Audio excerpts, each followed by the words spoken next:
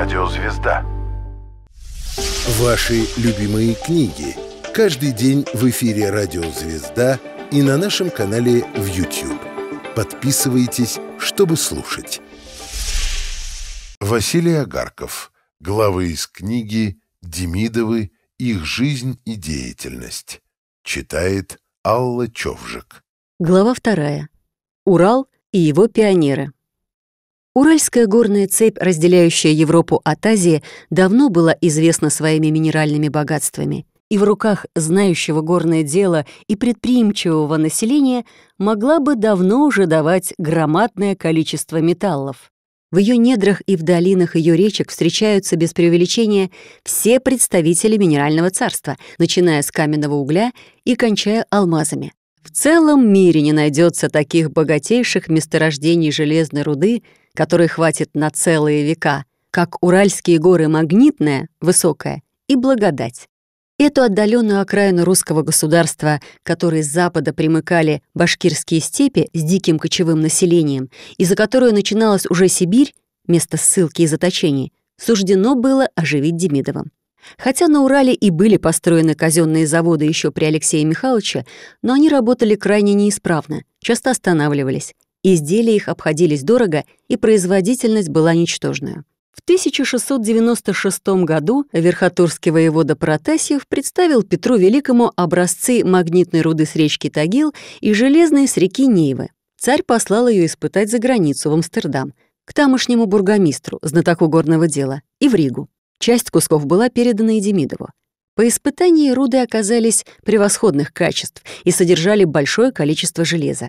А Демидов, приготовив из полученной руды несколько ружей, замков и бердышей, объявил, что невьянское железо не хуже свейского, шведского, пользовавшегося европейской известностью.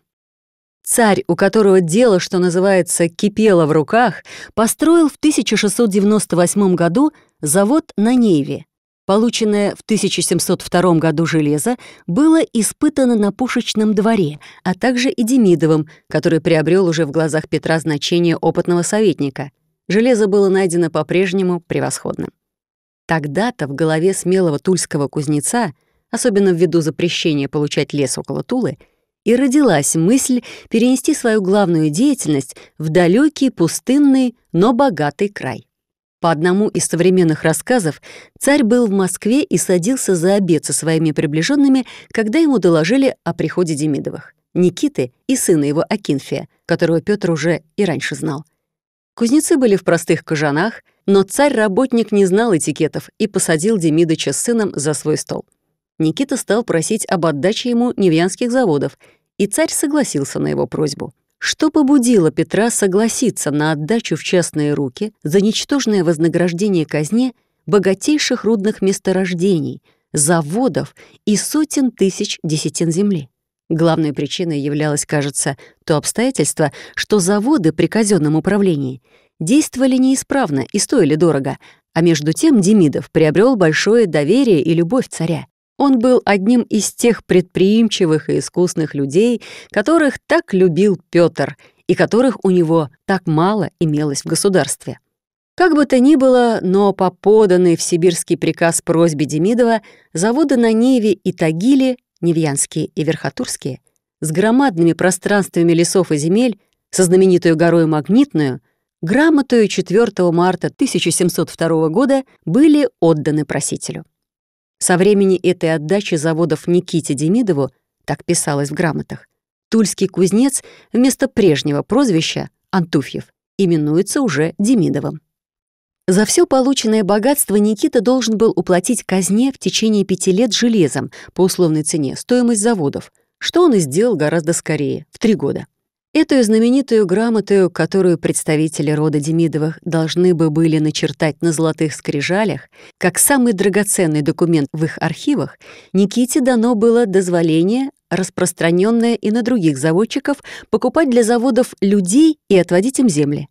Право это ввиду того обстоятельства, что в глухих местностях Урала и других русских окраинах было мало вольных рабочих, являлось крайне важным для заводчиков и послужила основанием к созданию тех колоссальных богатств, которые были составлены торгово-промышленными людьми вроде Походяшина, Твердышевых и Баташова.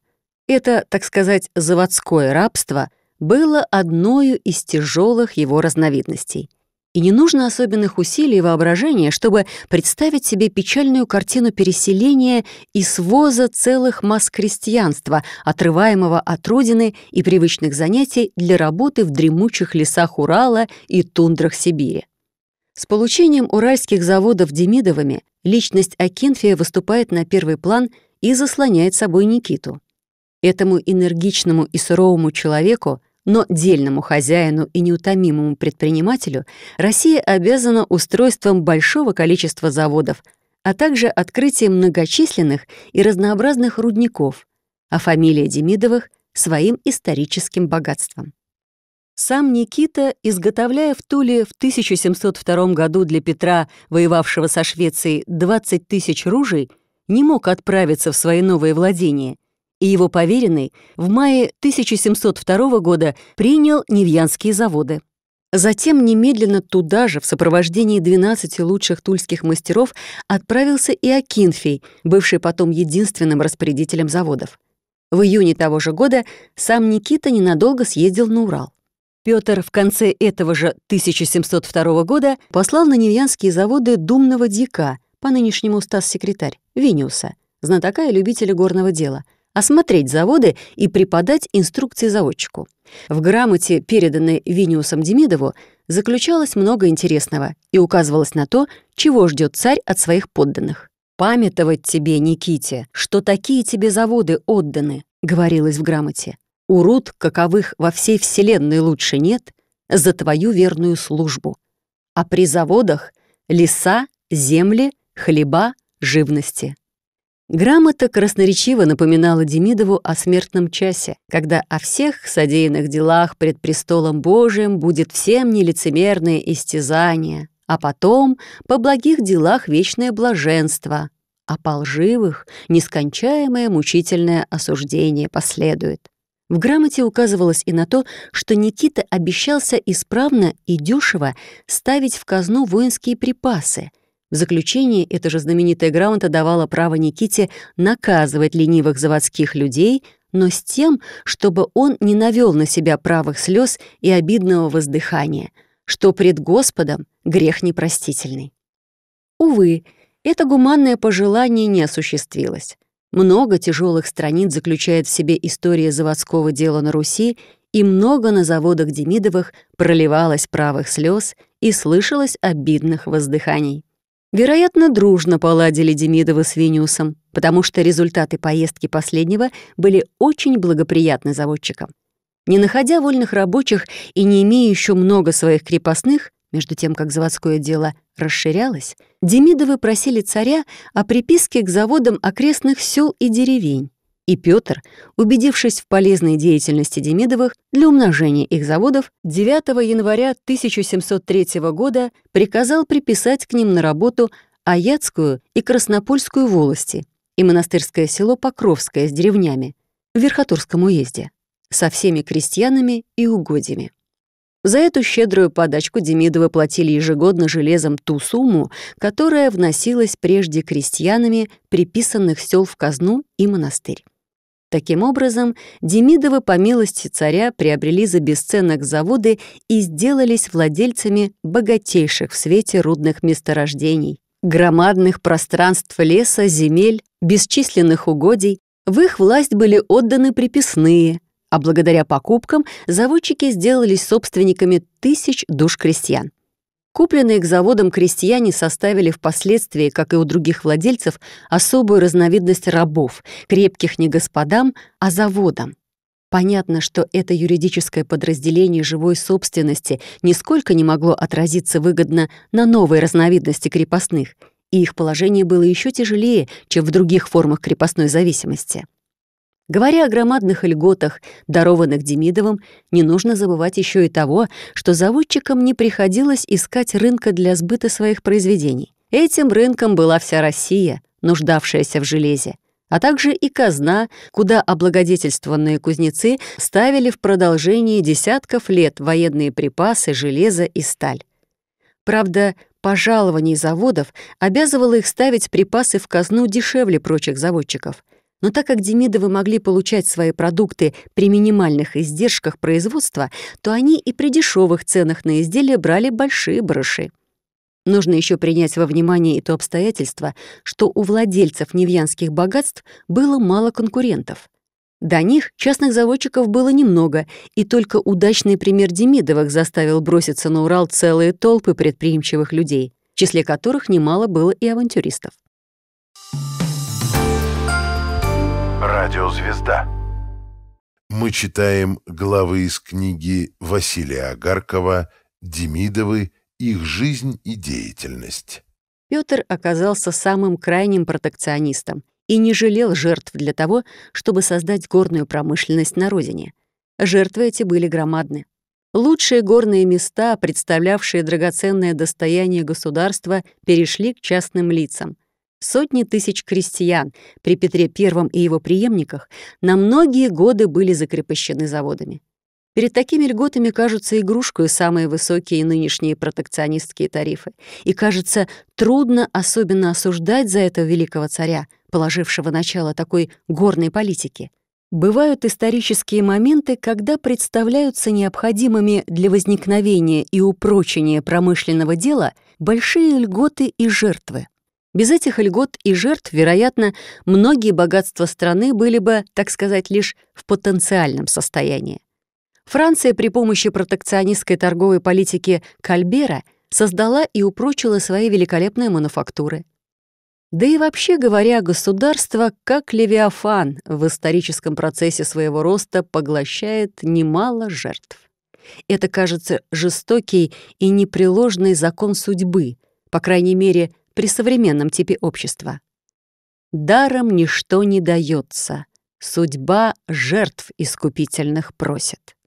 Но, понятно, мы далеки от того, чтобы оправдывать жертвы со стороны государства при условиях, когда производство уже создалось и упрочилось, и когда льготы, оказываемые частным лицам, являются только премией за отсутствие предприимчивости и энергии у наших капиталистов, привыкших брать громадные барыши и не старающихся ни об улучшении техники, ни об отыскании новых рынков для сбыта товаров. При такой льготной политике обыкновенно забывается потребитель — который должен платить гораздо дороже за продукты производства, окупая своими животами лень наших буржуев.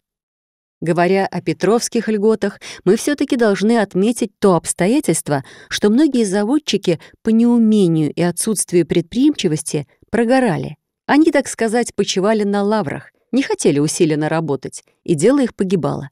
Но не таковы были Демидовы мы теперь обратимся к их деятельности на новом месте на Урале, доставившей им в истории горного дела на Руси почетную и заслуженную известность. Акинфию, старшему сыну Никиты, было 24 года, когда он сделался полным хозяином уральских заводов. Хотя имя Никиты и упоминается в актах, относящихся к деятельности этих заводов, но всем в сущности заведовал Акинфий, так как отец больше проживал в Туле где были и два его младших сына, или хлопотал по делам в Москве и Петербурге.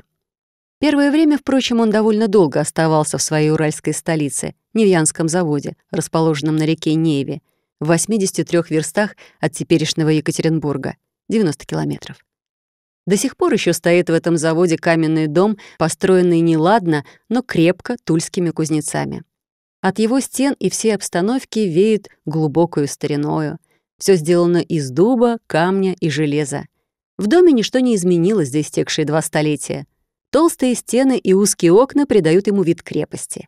Комната, где жил Никита во время приездов в Невьянск, была устроена в акустическом отношении так, что владельцу все говорившееся в доме было слышно.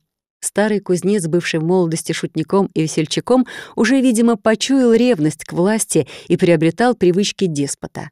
Акустическая комната выдавала ему виновных, и их постигали суровые наказания. Старик был крутого нрава и не терпел ослушников и ленивых. В одной из комнат старого дома до последнего времени находился портрет Никиты Демидова. Редко попадаются такие характерные лица. Кузнец жилистую и мозолистую рукою придерживает кожан, другую опирается на костыль. Суровое лицо с сумрачными глазами, глубоко сидящими в орбитах, напоминает худобою и желтизною лица аскетов. Этот портрет снят уже со старого Никиты, когда житейские бури и треволнения успели избороздить лоб его глубокими морщинами. Впоследствии Акин Финикисич построил в Невьянске высокую каменную башню, теперь от времени наклонившуюся и исполняющую скромное назначение пожарной каланчи.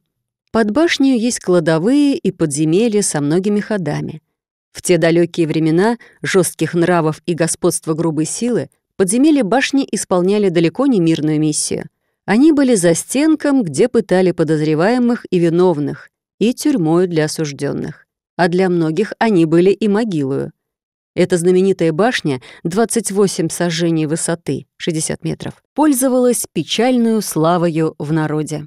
По преданиям и рассказам старожилов, в ней замуровывали людей и держали в колодках и цепях опасных супротивников. Много могла бы передать страшных легенд эта башня, служившая, как увидим ниже, Акинфию монетным двором для чеканки монеты, когда он открыл знаменитые алтайские серебряные рудники. Во время наезда ревизоров для открытия на заводах беглых туда, в подземелье башни, забирали ссыльных и каторжных, которых уж никак нельзя было показать закупленных крестьян, так как у них были клейма и вырезаны ноздри, и спускали, если нужно, из шлюзов Невьянского пруда воду, чтобы схоронить концы и не отвечать перед властями. У Акинфи закипела работа. Застучали на безмолвствовавших прежде верхотурских заводах сотни молотов, задымились печи. В течение своей деятельности на Урале Акинфи вместе с отцом и один построил не менее десяти железоделательных и чугуноплавильных заводов, из которых некоторые, как, например, Нижнетагильский, по своим изделиям приобрели громкую европейскую известность. Демидовское сортовое железо, точно так же, как и Яковлевское листовое, до сих пор еще имеет мало соперников. Прежде при казенном управлении верхотурские заводы работали с грехом пополам — в год 10-20 тысяч пудов железа. Между тем, как при Акинфе на его заводах получалось в иные годы до 600 тысяч пудов чугуна, из которого выделывалось до 350-400 тысяч пудов железа, что для того времени было громадной величиной. Чтобы охарактеризовать деятельность Демидовых по заводскому делу на Урале, можно указать на следующее — в пределах нынешней Пермской губернии во второй половине XVIII века считалось всего 65 чугуноплавильных и железных заводов, между тем как в течение того же столетия одним Никитой Демидовым и его потомками основано в той же местности не менее 30 железных и медных заводов, а в наше время только Нижнесалдинский и основанный Акинфием Нижнетагильской заводы дают ежегодно до 900 тысяч пудов превосходного чугуна каждый. Новые заводы исправно поставляли по дешевым ценам в казну большие количества военных припасов, пушек и фузей.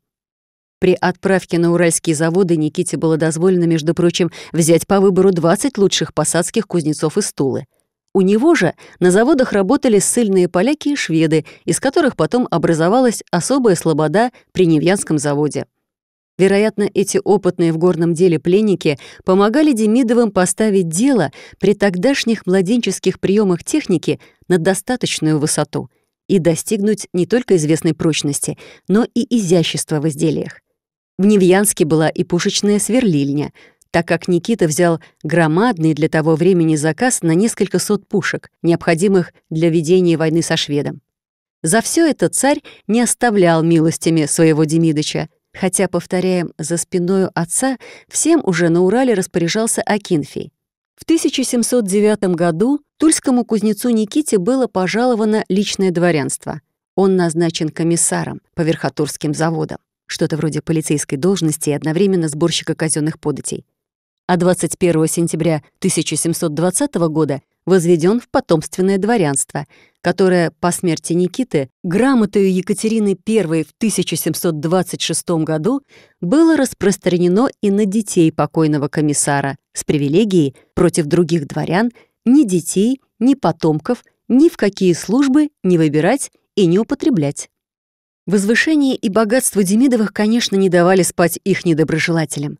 начиная с воевод этих маленьких державцев, веренных им на кормление областей, и кончая последним подьячим, все старались притеснить заводчика и очернить его перед высшей властью.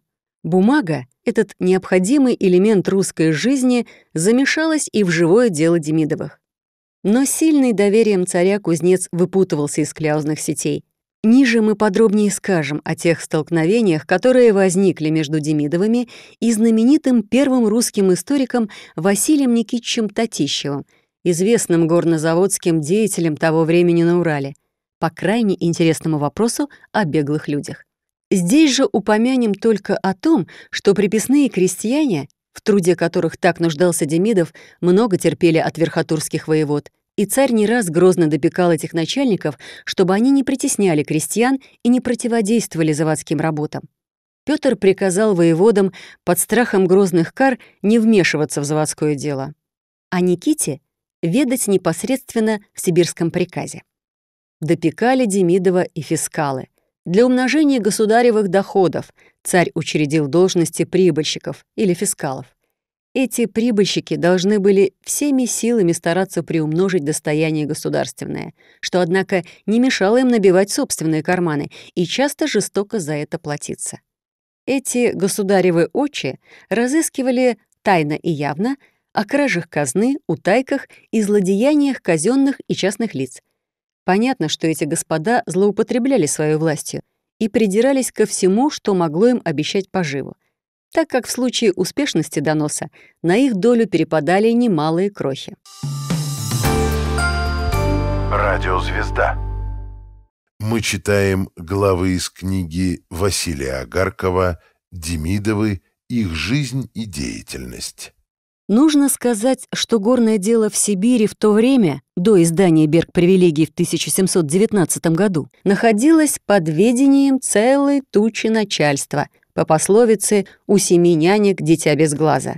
Ему с этими начальствами приходилось худо. Еще в 1700 году был учрежден рудный приказ, но на месте дела ведали губернаторы и воеводы. Кроме того, был еще и сибирский приказ, которому вся Сибирь подчинялась в административном и судебном отношениях. Затем Демидову приходилось, помимо личных приказов государя, ведаться с тогдашним военным и морским ведомствами, куда он поставлял изделия своих заводов. Понятно, что каждое из этих начальств беспрестанно вмешивалось в сферу действий другого, ища кормежки. Ко всему этому надо добавить, что заводские изделия подлежали бесконечному ряду пошлин и сборов. Помимо 10% сбора натуры из продукта, брали внутренние таможенные пошлины – перекупные, весовые, мостовщина, причальные и отчальные, и даже с найма подвод. Точно определенных правил насчет всех этих сборов не существовало, и часто они высчитывались совершенно неправильно даже в арифметическом отношении. Просто как Бог на душу положит. А между тем за утайку и неплатеж этих сборов владельцы металлов подвергались наказаниям, штрафам и конфискациям имущества. Все эти волокиты и громадные сборы задерживали развитие горного дела. Не мудрено, что прибыльщики могли хорошо ловить рыбу в мутной воде, и только с учреждением Берг-коллегии и созданием Берг-привилегии первого горного закона на Руси горное дело в нашем Отечестве стало на более правильную почву. Как мы уже говорили, Никита Демидов по своему быстрому обогащению давно возбудил вожделение фискалов, из которых в особенности известен Нестеров. И они не раз хотели прижать бывшего кузнеца, обвиняя его в том, что он утаивает железо, не платит пошлин и слишком дорого ставит припасы в казну. Примешивались глухо обвинения и в том, что Никита держит беглых людей на заводах.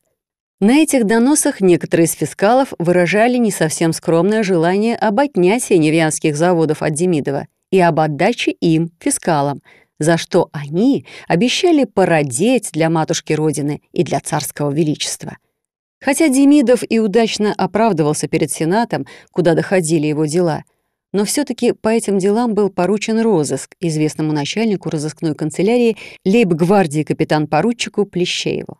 Розыск был настоящей Калифорнией для тогдашнего крапивного семени. Плещеев тянул его три года, наказывал людей Демидова, держал их в кандалах и, вероятно, Прижимистому тульскому кузнецу пришлось немало потратить денег и покланяться господам подьячим.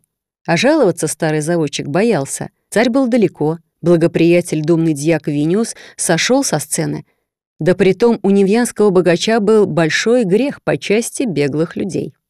Но счастье не оставляло старика, и ему удалось блистательно оправдаться во всех взводимых на него обвинениях и особенно в том, что он берет за военные припасы дороже других заводчиков.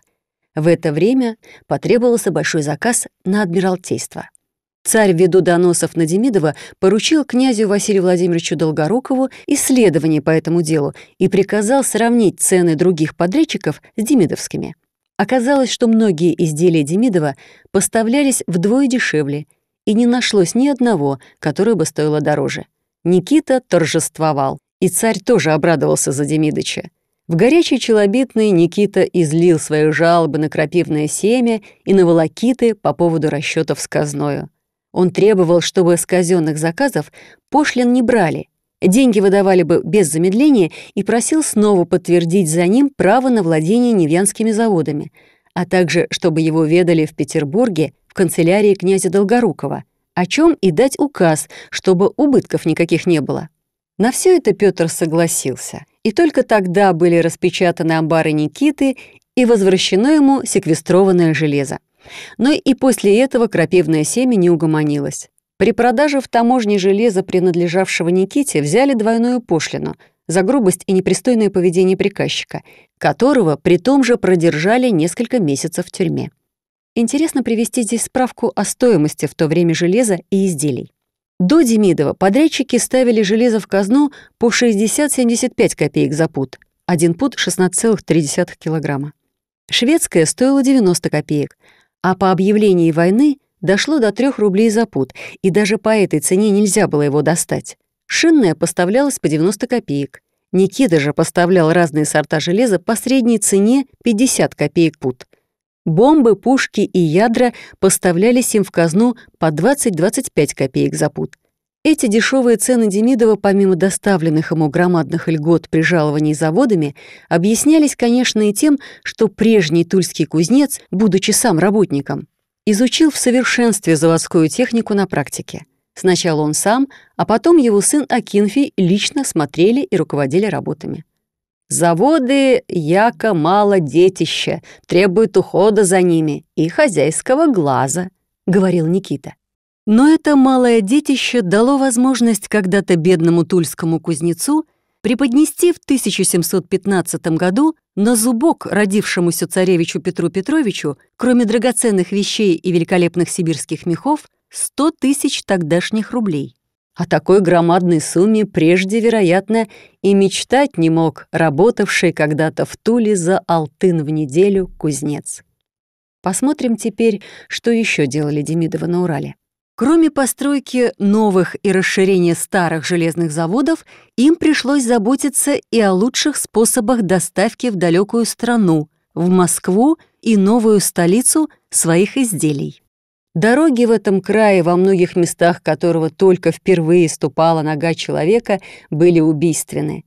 Демидовы позаботились привести их в хороший порядок, так что путешествовавшие впоследствии по Уралу академик Гмелин и известный ученый Паллас находили, что нигде не было таких хороших сухопутных дорог, как демидовские, проложенные, казалось, в самых непроходимых местах. Дороги были обсажены деревьями, окопаны по сторонам канавами с прочными мостами. Понятно, что такие пути сообщения могли быть проложены только при дешевом рабочем труде, каким действительно и являлась работа приписных крестьян.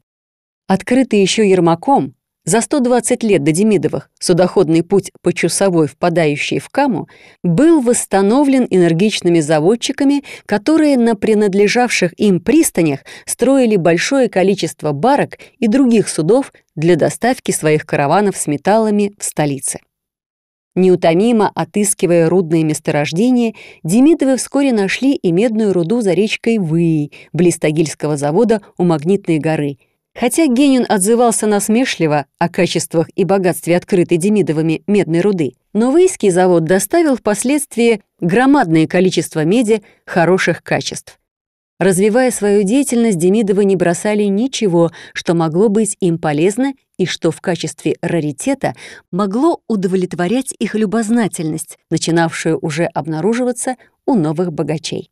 Так они старались о разработке асбеста или горного льна, месторождение которого, Шелковая гора, было открыто близ Невьянского завода на реке Тагил.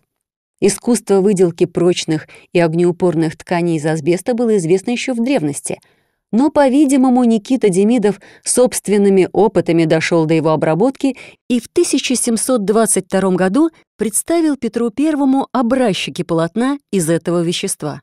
Теперь разработка асбеста оставлена, но введенная Демидовым в значительных размерах, она долго сохранялась в Сибири, где из горного льна приготовлялись колпаки, кошельки, перчатки и шнурки.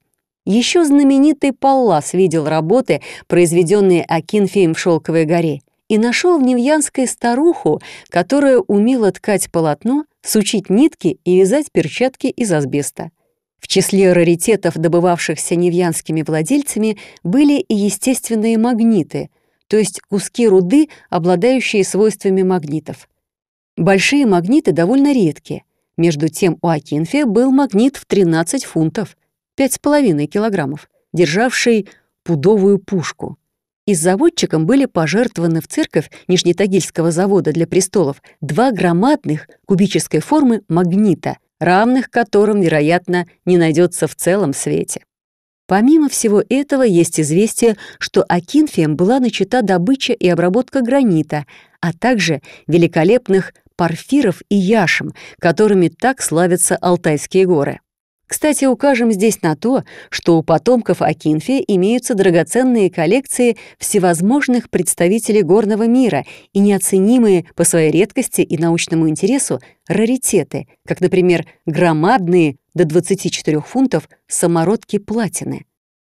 Мы читали главы из книги Василия Агаркова «Демидовы. Их жизнь и деятельность». Ваши любимые книги – Каждый день в эфире «Радио Звезда» и на нашем канале в YouTube. Подписывайтесь, чтобы слушать.